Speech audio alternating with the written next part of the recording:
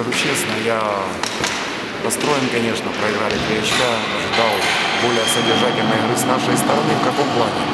Э, Совершенно для меня непонятное решение. Мы идем 4 в одного человека, вместо того, чтобы просто отдать передачу, э, вернее, когда нужно просто забить, мы отдаем передачу, мяч улетает в вал. Вместо того, чтобы наоборот отдать передачу, идет Женя, э, балабан до конца, попадает в игрока, там чуть ли не фол нападения, но тот, что мы этот мяч не забили.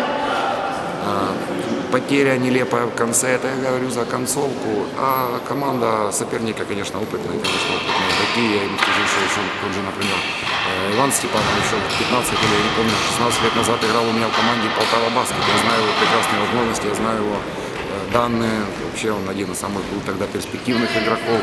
Сашу Воронов хорошо все знают. Тоже, кстати, был у меня в Полтава Остальные игроки опытные играли очень много. Ну, скажем так, взяли нас опытом. Взяли нас опытом.